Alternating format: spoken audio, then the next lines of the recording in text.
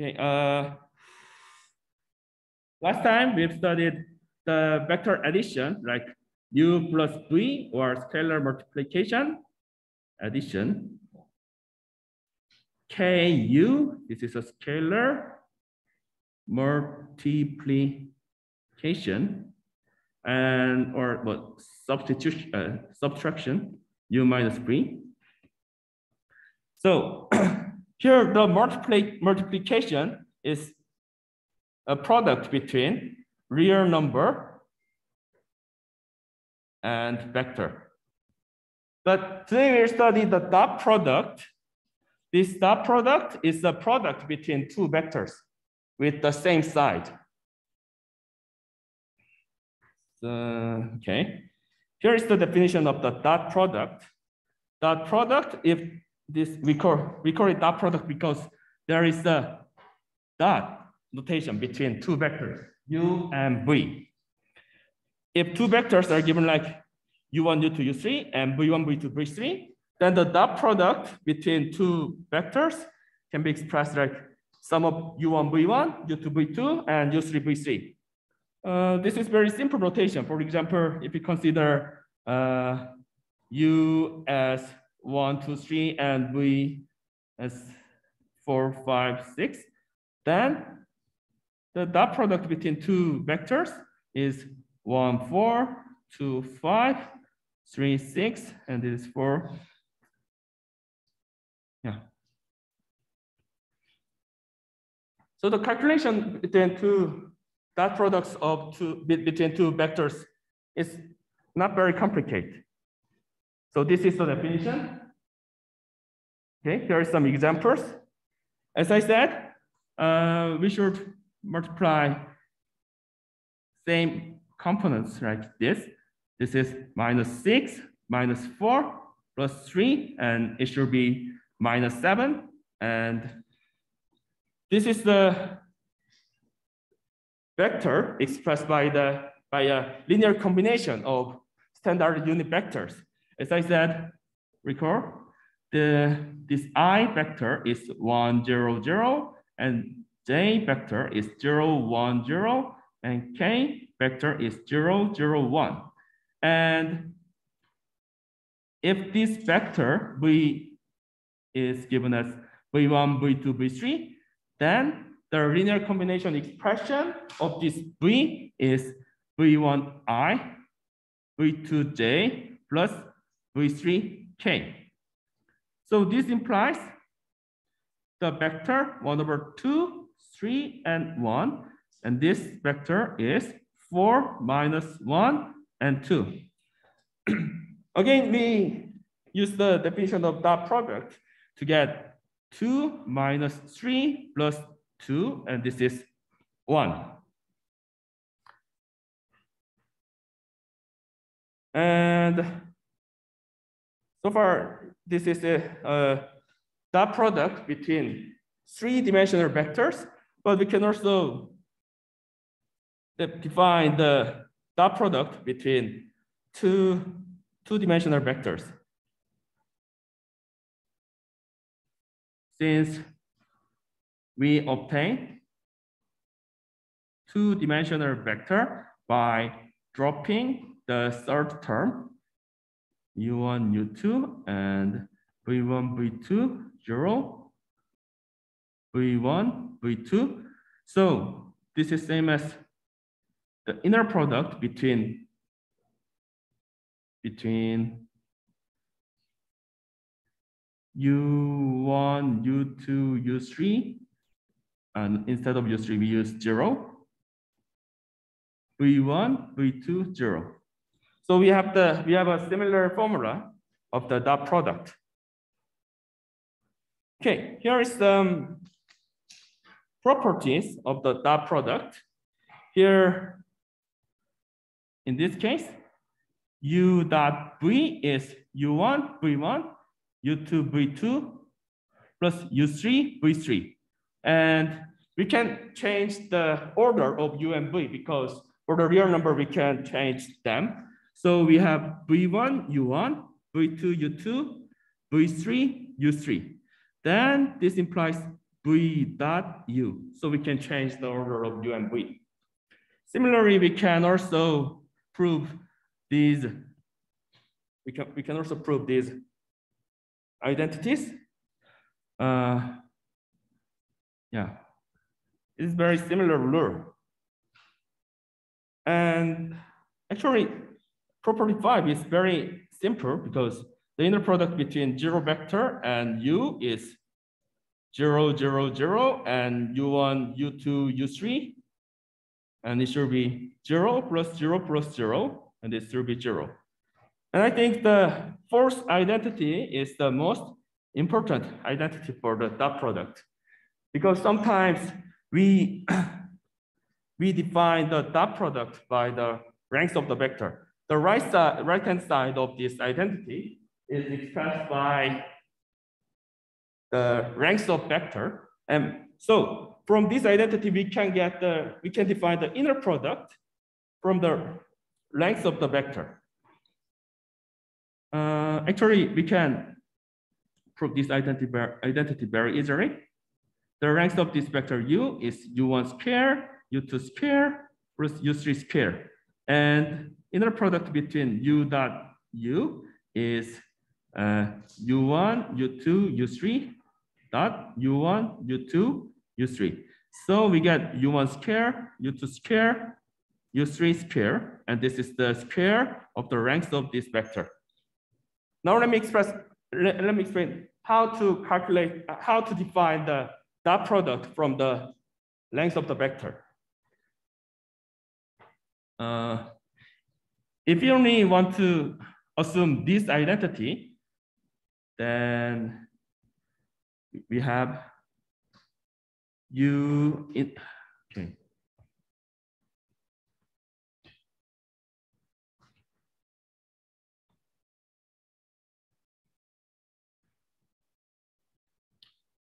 Here we have, we only have u dot u is the ranks square of ranks of this vector.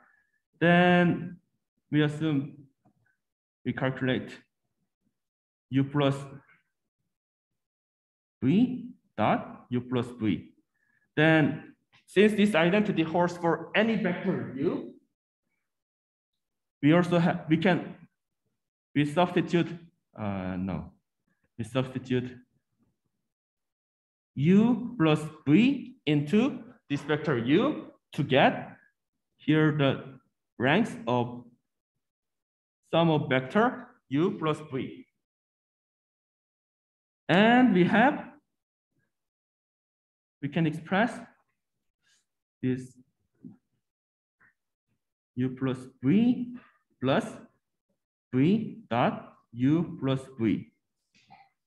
Here we use this identity, this third identity, because uh, here is a sum, sum in here, So we decompose this u and UMV into these two terms. Again, we get we get u dot u plus u dot v plus v dot u plus v dot v. Then since u dot u is the square of the ranks of u. We have u square plus here is v square. And since u dot v and v dot u are, are the same quantity, we get plus 2u dot v. So we get 2u dot v is u plus v length square minus u square minus ranks of v square. So we can define the inner product between u and v by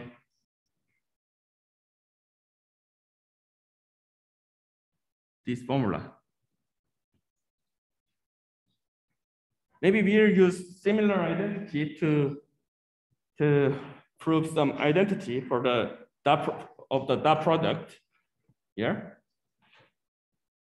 okay, so I want to express, I want to explain. There is some relation between the dot product and the length of the vector.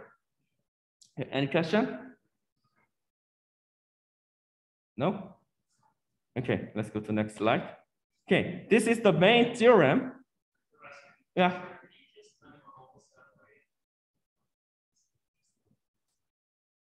Pardon? I will post this lecture notes. Yeah. Okay. This is the most important theorem of the dot product. Let me explain this theorem by uh, figure. Here is the vector u and vector v. And the angle between these two vectors is theta. Then there is the, the relation between u, v, and theta is this. We can express the uh, cosine theta by u and v. Okay, let me prove this identity. So our goal is u dot v equal norm of u, norm of v times cosine theta. First, we draw a figure. Here u and v. Here's the origin and here's theta. then you know that this vector is u minus v. This vector is u minus v. Record the cos row of cosine, row of cosines. If this triangle A, B, C, and here is the ranks A and B and ranks C, and this angle is theta, then the row of cosine can be expressed by C square equal A square plus B square minus 2AB cosine theta. We apply this row, row of cosines into uh, this vector form. First, the ranks of this vector u should be, okay, we can just write down like this form. And the ranks of here is ranks of v, and the ranks of this side is ranks of u minus v. So we apply the law of cosine to get uh, rank square of u minus v is u square plus v square minus 2u v cosine theta. Since the left side, left-hand side is the inner product between two same vectors, u minus v, then we can express by u dot, uh, sorry,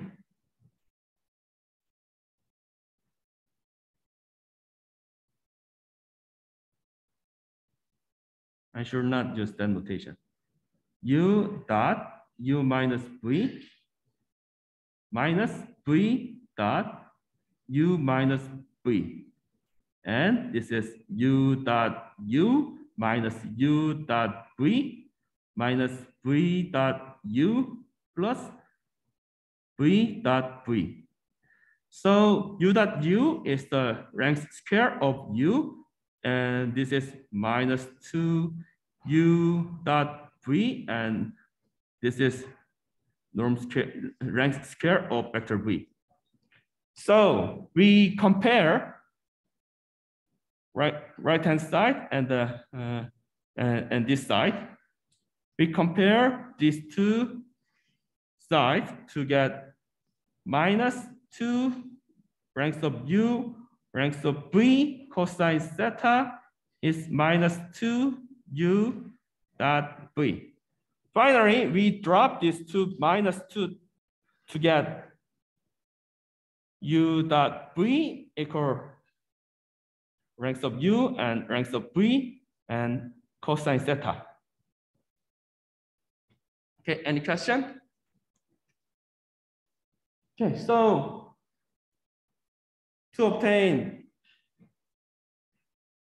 this formula for dot product, we use the we use the row of cosines. Okay, here are some examples. If u equal v, then u dot u equal norm of u, norm of u cosine theta. We don't know the theta, but uh, and this is non-zero vector. Then the left-hand side is rank square, and here is rank square cosine theta. So here we have cosine theta equal one. If cosine theta is one, then theta should be zero. Since, since two vectors are equal, the angle between u and u should be zero, so this is the consistent result. And also, if you put u is minus b, of course, it's non-zero vector. If, not, if zero vector is given, then we cannot uh, measure the angle between two vectors. So we assumed the non-zero vectors. In this case, we have u dot minus u equal ranks of u, ranks of minus u, and cosine theta. Then this is minus u dot u, and this is ranks square cosine theta. So finally, we have this relation, and we can conclude that cosine theta should be minus one. if cosine theta is minus one, then theta should be pi. So since we assumed u equal minus v, that means here is u and here is v, and this is minus u. Since the angle between these two vectors is pi, this is also uh, the also a consistent result. Any question on this example? No? Okay, here is the proof slides of this proof, but we've already covered it. Okay, and record the previous formula, u dot v equal u v cosine theta. We simply divide both term by ranks of u and length of v to get this formula. So we can express, so, so we can calculate the cosine theta, where the cosine, uh, where the theta is the angle between two vector by the formula of, uh, uh, formula of expression of u and v. So if you know two vectors, then we can calculate the cosine, cosine of the between angles. That means, uh, for, for example, here we use, uh, okay, we consider here is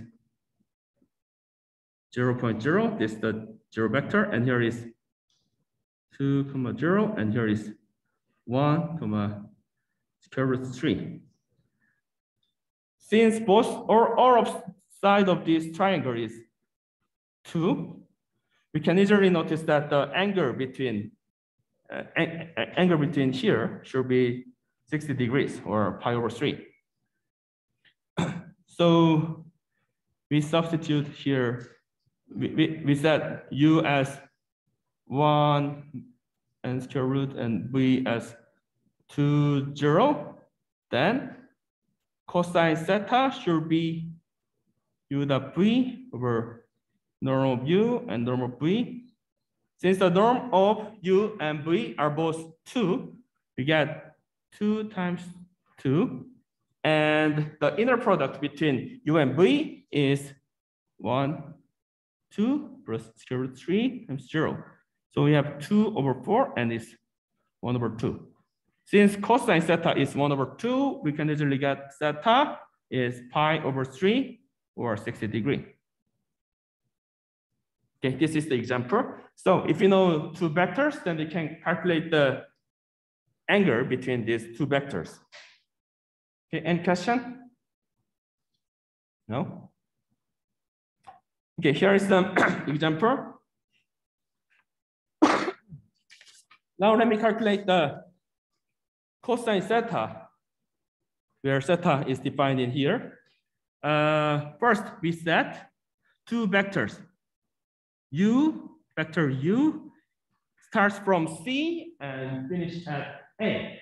Then the expression of U should be minus 5, comma minus 2.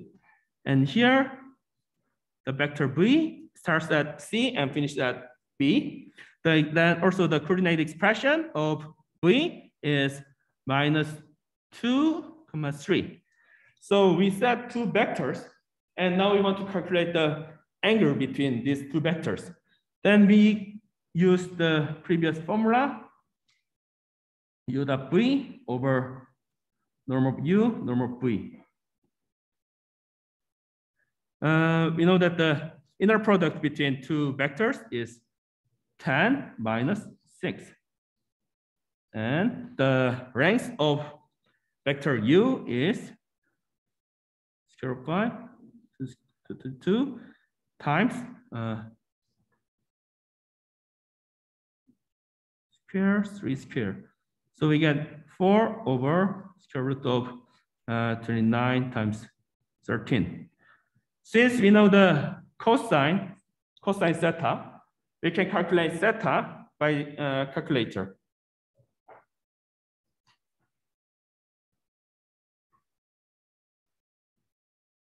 Okay, any question?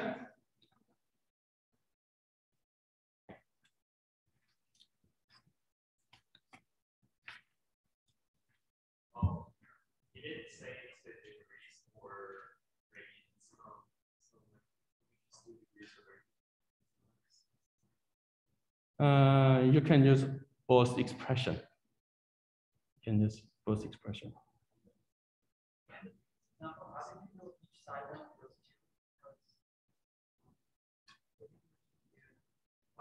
Oh, okay. Uh, the ranks of this side is of course two because only the x axis is different.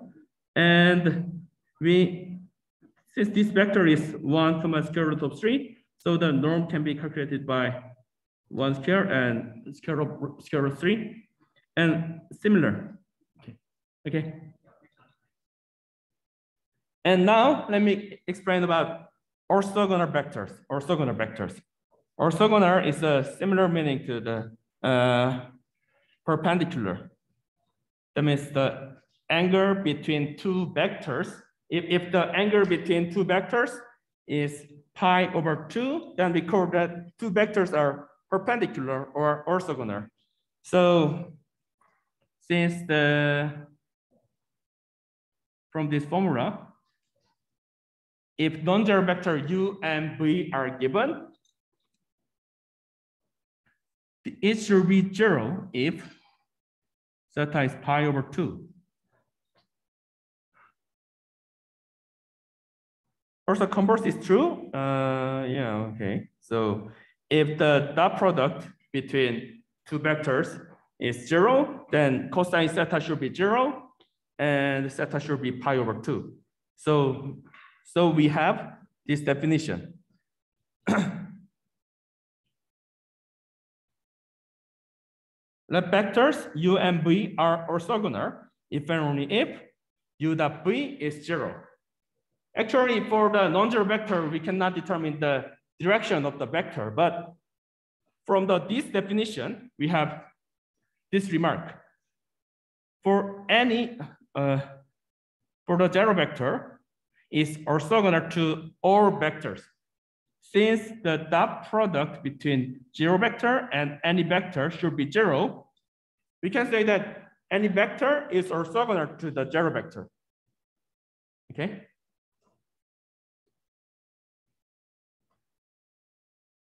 Okay, let me tell you some examples. Actually, we've learned these standard unit vectors.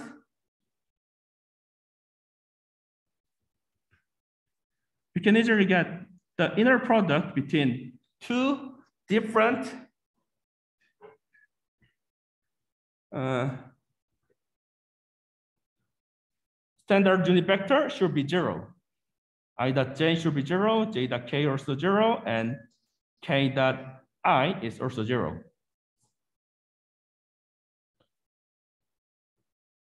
Okay, now let me explain about the projections of vectors. Here, the vector projection of u onto non-zero vector v is the vector PR. Here is the vector u, and here is vector v. The projection of vector u onto the non-zero vector v, if, if v is zero vector, then we cannot uh, project the vector, vector. So we only consider non-zero vector v. However, u can be, this vector u can be a zero vector. so determined by dropping perpendicular from Q to the line PS. So we can find this point R by projecting the point Q to the line PS. And the notation of this vector is pro projection of U to V. Projection of U to onto V, onto V. This is the this is the notation of the vector projection. and also record that record that um, projection projection of u onto v only depends on the direction of v. That means projection of U onto V is projection of U onto KV for any non-zero real number K. You understand? Since the ranks of V doesn't matter for the projection, only direction is important. Direction of V is important. Also, this K can be negative because we only project the vector onto the line not a directed line. So the so, so only the direction of V is important. Okay. Here is the meaning of the projection. here, uh, here is the force U, and the effective force for the horizontal direction should be projection of U onto V, onto V. This is the effective force. okay, now let me explain, let me, let me introduce how to calculate the projection, the formula of the projection, projection of vectors. we consider two cases. Uh, if theta between u and v is acute angle, that means is the angle is less than pi over two, then the projection, then the length of projection should be no, uh, ranks of u times cosine theta. Mm, just we use the definition of the trigonometric function. and here, and here, if theta is obtuse, then it means it is larger than uh, pi over two, then the length should be expressed by this form. Actually, this length is positive because uh, if theta is between pi over 2 and pi, then cosine theta should be negative. So since cosine theta is negative, this minus length of u times cosine theta should be positive. Okay. For each case, for each case, uh, in the in the last lecture, I said that these two vectors are unit vectors that has the direction, uh, the same direction with the vector v. Because uh, rank of v is positive and yeah, yeah, yeah. Okay, then. okay, so we multiply v over rank of v to here to get uh, u cosine theta times v over rank of v. Then this is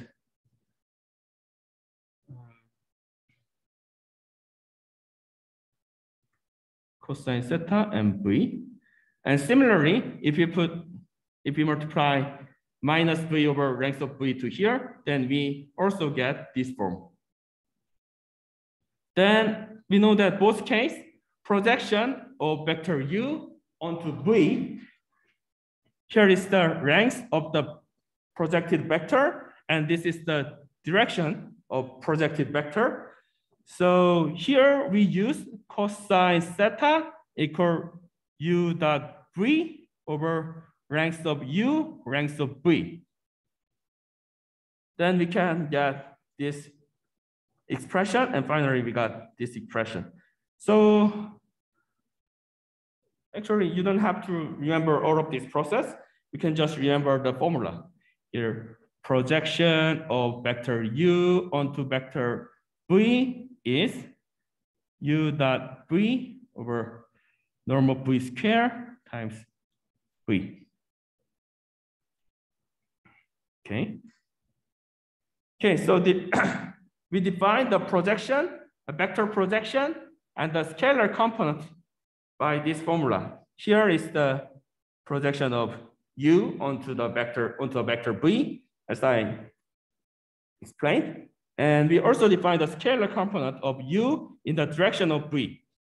Since this vector projection is expressed by u dot v over norm of v times vector v over norm of uh, ranks of vector v. This is the unit vector. And this is the ranks of the projection. So we define these ranks of projection like here. But, uh, but, the, but this ranks of projection can be minus if, if if theta in pi over 2 to pi, then scalar component of u onto v can be negative. It can be negative. Okay, so remark that scalar component can be a negative value. Okay, here is some examples, simple examples. Yep. So for the vector projection, your end result for your calculation should be the vector, right? Yes, vector projection is vector. And scalar projection is scalar. Yes, it's scalar. Okay, here we only we just use the formula for the projection and scalar component to get projection of vector u onto v is u dot v over normal v square v to get uh, since the inner product between two vectors is six minus six minus four and norm square of uh, rank square of v is one plus minus two square plus minus two square and this vector is one minus two and minus two so we get minus four over nine one minus two minus two is the projection of vector u onto the onto vector v. also, scalar component yes, by the formula u dot v over ranks of vector v is six minus six minus four square root of one plus minus two square minus two square. So we get minus four over three. So this is the answer. So this is how to use the formula for projection vector, pro- projection vector and scalar component. Any question? Okay, now let me introduce some physical objects. It is the work. the work done by constant force F acting through a displacement D is performed by the com component of F in direction D. So we assume the displacement is this vector D and the constant force is given by this F and the angle between F and D is theta. Here's the definition. The work, definition of work is a scalar component of F in direction in the direction of D. That means uh, only we only consider the parallel component of F to D. That's the this direction and the ranks of this vector projection should be F cosine theta. so the expression is F cosine theta times ranks of D. So this D, and finally we use the formula for the dot product to get just the F dot D. The work can be calculated by inner product between constant force times displacement. Okay, this is the final example. Uh, so, so, so here is the definition of the work. So we define the work by the inner product between force and displacement. by this definition, we can solve this problem. A wagon is pulled a distance of three meters or along horizontal path. So the wagon is pulled by three meters, and this is the displacement vector. And constant force 40 Newton. And we here, the assumption is the handle of wagon is held at angle of six, 60 degree of the horizontal. That means the angle is 60 degree and here's F and the force, force is 40 Newton. So we can calculate the inner product between two, between force and displacement by the ranks of uh, force and dis displacement cosine theta, and we know this theta is 60 degree. So we get 40 Newton times three meter times one over two, get uh, 60 Newton meter. And since Newton meter is a joule, so we can obtain the total work for this example. Any question? Okay, then we can finish from now. And we have a quiz next in the next lecture. So don't be late. Okay, then see you Wednesday.